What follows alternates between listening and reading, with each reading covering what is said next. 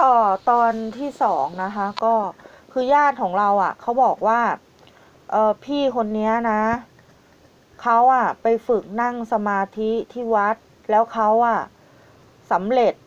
สำเร็จฤทธิ์พอไปฝึกนั่งสมาธิที่วัดอยู่ดีๆอะ ก็เห็นแต่ผีเห็นแต่ผี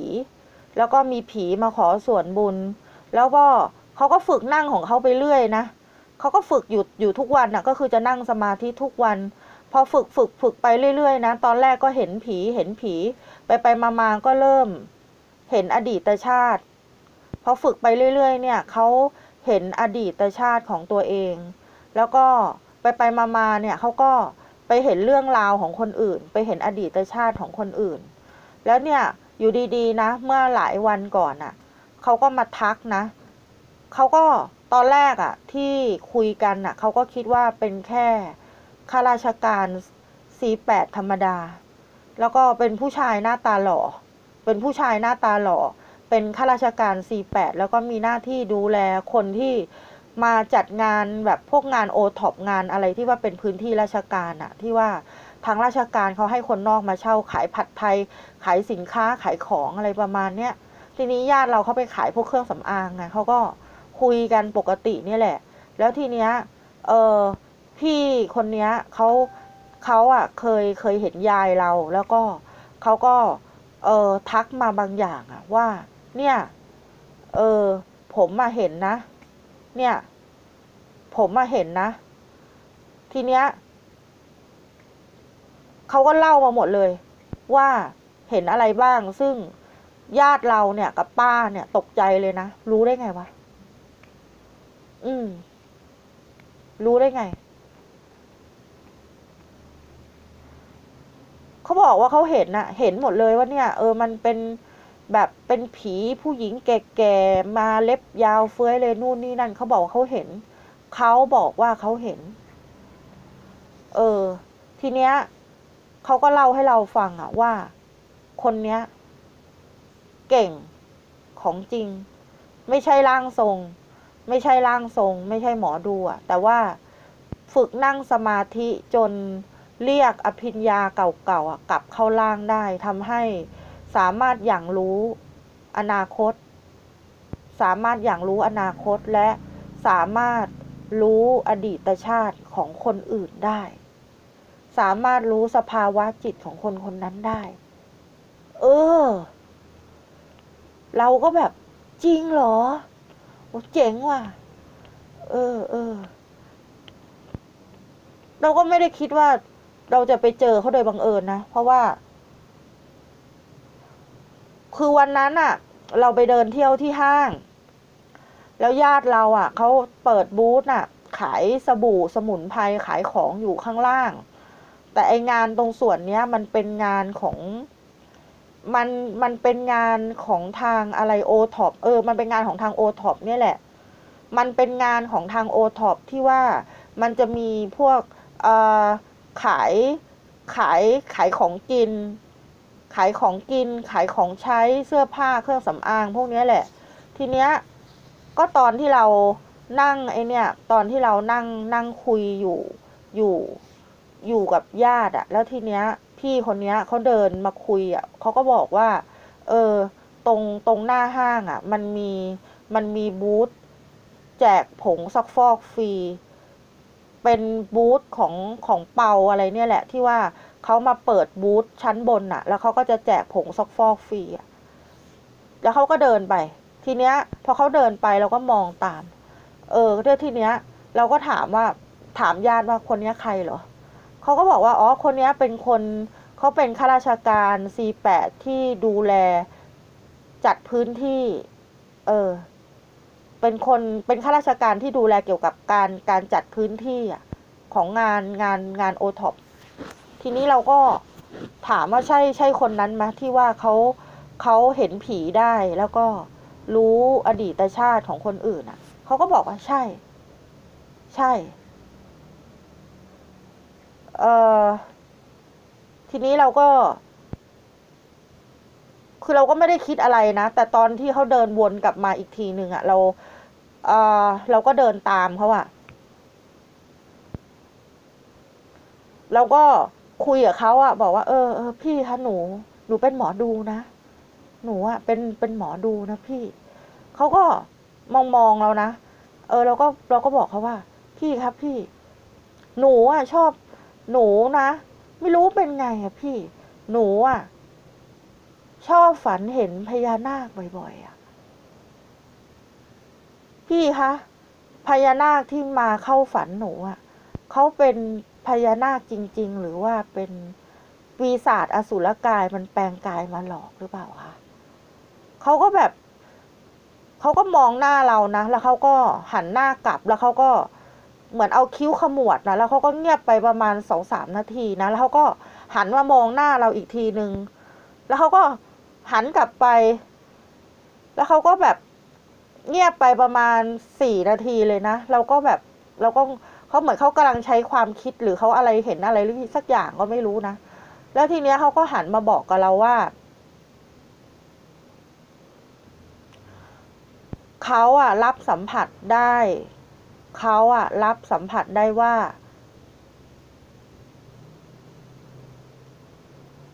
ถ้าเราอะยังไม่เลิก ถ้าตัวเรานะ ยังไม่ยอมเลิกยุ่งเกี่ยวกับพวกพญานาคนะ เราอะจะอายุไม่ยืน เออเขาบอกว่า พี่รับสัมผัสได้นะว่า ถ้าตัวน้องอะยังไม่เลิกยุ่งเกี่ยวกับเรื่องพญานาคอะตัวเราอะ จะอายุไม่ยืนแน่นอน เพราะพญานาคทั้งสองฝั่งอะเขาต้องการจะเอาตัวเรากลับ ทั้งคู่เลย เออ เขาบอกแบบเนี้ย เรานี่แบบขนลุกเลยนะ รู้ได้ไงวะ รู้ได้ไงว่ามันมีมันมีสองฝั่ง เออ ฝั่งไทยกับฝั่งฝั่งอินเดีย เรานี่อึ้งเลยนะ หลังจากนั้นก็คุยกันประมาณยี่สิบนาทีอะเขาก็บอกว่าถ้าเราอะ สามารถอยู่จนแก่ได้อะเราอะจะรวยมากแล้วก็จะมีเงินมากพอ สร้างสร้างศาลจะมีเงินมากพออะสร้างสร้างสร้างศาลพญานาค สร้างศาลพญานาคสร้างเทวรูป เพราะว่าเขาเห็นน่ะเขาบอกว่าเราอะไม่ควรจะไปยุ่งเกี่ยวกับพญานาคถ้าเป็นไปได้อะ ควรเลิกติดต่อ เลิกเลิกคุยให้เลิก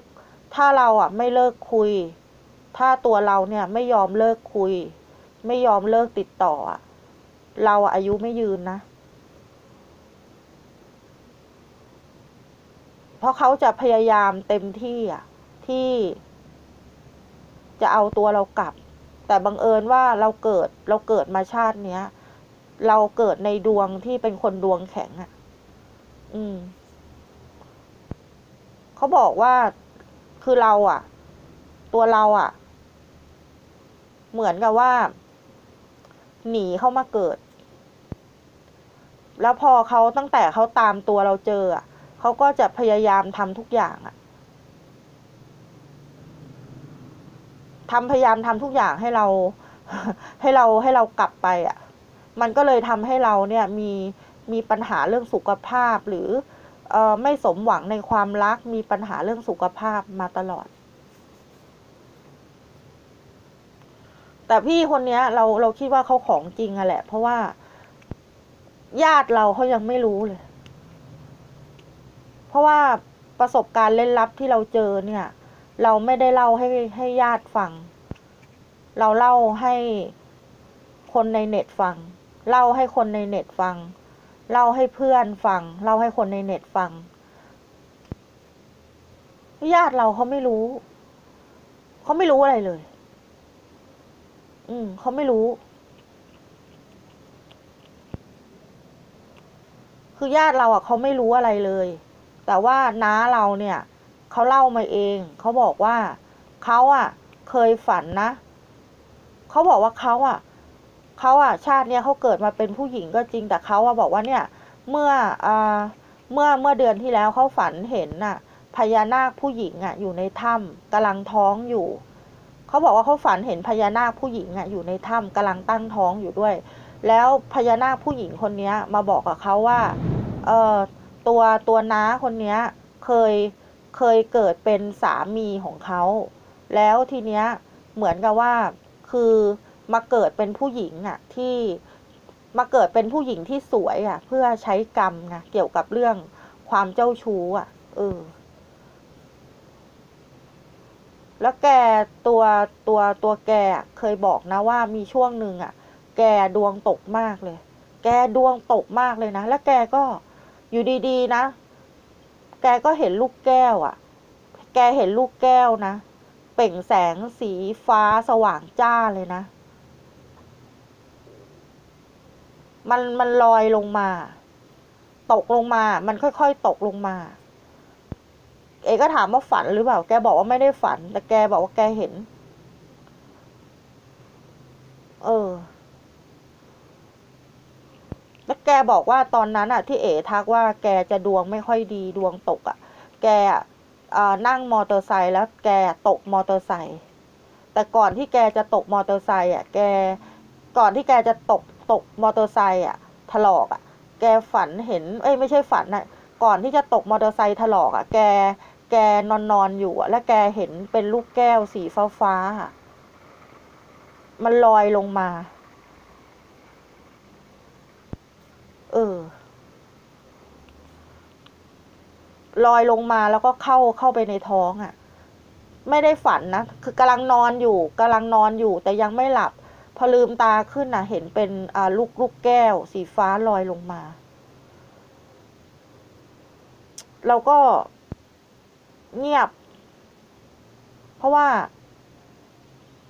เราเจอแบบนี้มาสองรอบแล้วตอนตอนอายุ เออ ตอนอายุ ตอนอายุยี่สิบห้านอนอยู่เหมือนกัน เห็นเป็นลูกแก้ว สีแดง ลอยลงมา เหมือนลงลงมาจากข้างบนอะลงมา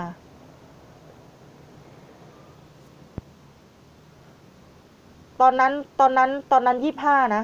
แต่เราคิดว่าเอ่อกุมารทองหรือเปล่ามาเข้าท้องอะไรเงี้ยเราคิดว่า เอ้ยเป็นเป็นกุมารเทพเป็นกุมารทองอะไรหรือเปล่า แต่เราคือเราจะเห็นเป็นลูกแก้ว สีแดง สว่างจ้าลอยลงมา แล้วก็เอ่อตอนอายุสามห้า คือตอนนั้นอะ เราป่วยเป็นเป็นไข้หวัดนกนะ เราฝันเห็นตอนนั้นอะ เรากำลังป่วยเป็นไข้หวัดนกอยู่ แล้วเราทำงานไม่ได้อะต้องหยุดงานประมาณสิบสี่วันอะ คือคือเอ่อป่วยหนักมากอะ หายใจไม่ออกอะ เกือบตายอะ แล้วทีเนี้ยเรานอนทั้งวันไงนอนทั้งวันเลยกลางวันก็นอน เย็นก็นอน พอกลางคืนนอนไม่หลับ แล้วก็นอนไม่หลับแล้วก็นั่งเล่นนั่งเล่นมือถือเนี่ยแหละ ทีเนี้ยเราเห็นเป็นลูกลูกแก้ว สีม่วงว่ะ เป็นลูกแก้วอะเล็กๆ สีม่วง สว่างจ้าเลยนะ มันก็ลอยลงมา แล้วก็มองนะโอ้ผีหลอกกูอีกแล้วคือมันไม่ได้ลอยลอยลงมาเข้าท้องแล้วนะมันก็ลอยลงมาแล้วมันก็มันลอยมันลอยลงมาที่เตียงอะแล้วมันก็หายไป เออ เห็นเนี่ย คือที่เห็น แล้วก็มีตอน ปีสองพันห้าร้อยหกสิบอะเรานอนกลางวัน ไม่ได้หลับนะ คือเหมือนนอนเหมือนนอนนอนเล่นอะนอนนอนนอนนอนพักสายตา นอนพักสายตา นอนนอนพักสายตาตอนกลางวันไม่ได้หลับ เรารู้สึกเหมือนมีมืออะมาดึงขาเราอะฟุบลงไปเลยอะเออ แล้วเราก็ไปปรากฏตัวอีกที่หนึ่ง โอ้โห เป็นแบบ เป็นถ้ำที่สวยมากอะเราก็แบบ โอ้โห เราคิดในใจโอ้โห นี่เราฝันเห็นอะไรวะเนี่ย คือตอนนั้นอะเราคิดว่าเราฝันนะเราก็บอก เออ ที่นี่สวยเนอะเราก็เห็นนะบนพื้นเนี่ยมีเต็มไปหมดมีเพชรทองแล้วก็ในถ้ำอะจะมีแท่งคริสตัลสีขาวๆอะ มีมีเป็นแท่งเพชรขึ้นมาแท่งคริสตัลแท่งคริสตัลสีเขียวสีฟ้า คือถ้ำเนี้ยมันเป็นถ้ำที่มีแต่ เป็นถ้ำที่มีแต่เพชรพลอยแก้ว ผนังของถ้ำเนี่ยจะมีแต่เพชรแต่ทอง มีทอง ผนังถ้ำเนี่ยเป็นทองเป็นเพชรบนพื้นเนี่ยมีอัญมณีมากมาย มีทอง มีเพชร มีแก้ว มีหินคริสตัล มีอะไรเต็มไปหมดเลย ก็คือเราในฝันน่ะเราก็เดินอยู่ในถ้ำพญานาคเนี่ย ทำไมไม่รู้นะ ตอนที่เราฝันเห็นถ้ำอันเนี้ย พอเราเห็นปุ๊บเนี่ย เรามองไปรอบๆอะ่ะ เหมือนจิตใต้สำนึกเรารู้เลยว่า ที่เนี่ยคือถ้ำพญานาค เราก็คิดว่า เออ ใครพากูมาวะเนี่ย เราก็เดินสำรวจนะเราก็เดินคือเราก็เดินอยู่ในฝันนะประมาณยี่สิบนาทีนะหูเดินเหนื่อยเลยนะ เห็นทั้งส่วนที่มันเป็นไอเนี่ย เป็นน้ำอะ เออ เป็นน้ำเป็นแม่น้ำข้างใต้อะ แล้วก็ส่วนที่เป็นผนังมันเป็นทองอะ แล้วก็เราก็เดินไปเรื่อยๆเรื่อยๆจนไปถึงจุดที่แบบ เอ๊ะแถบนี้มันคุ้นๆว่ะเราก็เดินเข้าไปนะ เดินลึกเข้าไป เฮ้ย พอเราเราก็มาหยุดหยุดอยู่ตรงจุดหนึ่งนะ ที่ว่ามันเป็น อ่า มันเหมือนกับว่าเป็นซอกอะ มันเป็นซอกเข้าไปอะ เหมือนเป็นโพรงถ้ำเล็ก ๆ อะ เออ เราก็ พอเรา มามาเห็นตรงจุดนี้ปุ๊บนะเรา เราก็ยืนมองสักพักหนึ่งอะแล้วเราเหมือนกับว่า คือในจิตใต้สำนึกเราจำได้ว่าเฮ้ย ตรงเนี้ยใช่เลย เมื่อก่อนอะเมื่อก่อนอะฉันเมื่อก่อนตอนตอนเกิดเป็นพญานาคอะฉันอะชอบมานอนตรงเนี้ย เออ ชอบมานอนนอนอยู่ตรงตรงรูเนี้ย พอพอเราพอเราจำได้ปุ๊บนะ เราก็ขนลุกทันทีเลยนะ เรารู้สึกว่ามันมันกำลังจะมีบางอย่างอะเรารู้สึกขนลุกอะเพราะเรารู้สึกว่ามันกำลังมีบางอย่างอะกำลังกำลังพยายามจะเข้ามาคุยกับเรา แล้วทีเนี้ยคือในฝันเรากลัวมากเราก็เลยยกยกเออเรายกมือพนมขึ้นเงี้ย เหมือนกับว่าเราก็บอกกลัว คือคือความรู้สึกตอนนั้นคือกลัวมาก แล้วก็ยกมือพนมนะ แล้วเราก็บอกว่า พระศิวะช่วยด้วย กลัว เราอธิษฐานจิตอย่างเงี้ย พระศิวะช่วยด้วยกลัวทักนั้นแหละวืบเลยนะ เรารู้สึกเหมือนถูกดึงขึ้นนะวืบ แล้วทีนี้เราก็สะดุ้งตื่น ก็ยังไม่จบนะ เออ ยังไม่จบ ก็หลังจากนั้นก็ก็ยังฝันเห็นอีก ทีเนี้ยฝันฝันว่า ฝันเห็นอ่าฝันว่าฝันเห็นรูปปั้นพญานาคมาอยู่กลางบ้าน เป็นรูปปั้นงูเห่า เป็นรูปปั้นงูเห่า เป็นรูปปั้นที่ทำมาจากไอเนี่ยเงินอะเป็นรูปปั้นดวงตาเป็นสีแดงอะแล้วก็คือมันเป็นรูปปั้นที่เหมือนหล่อมาจากเงินอะทีเนี้ยเราก็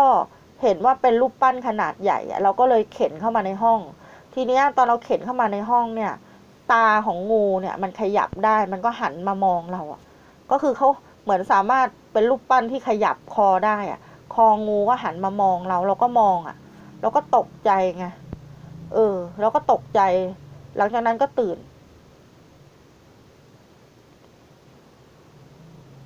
ก็ ทีนี้เราก็ไม่รู้จะทำยังไงไงเราก็คิดว่า เออเออเราก็ทำบุญให้แค่นั้นอะ่ะ ก็เราก็ใส่บาตรแล้วก็กวดน้ำให้แค่นั้นอะ่ะ อืม ท่านก็หายไปประมาณแป๊บหนึ่งอะ่ะ แล้วก็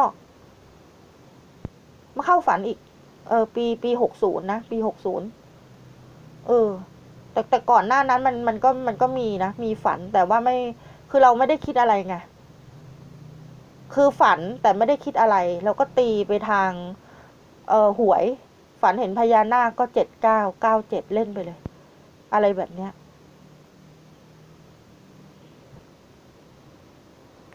คลิปนี้ก็พูดนานแล้วค่ะ ก็โอเคแค่นี้ค่ะ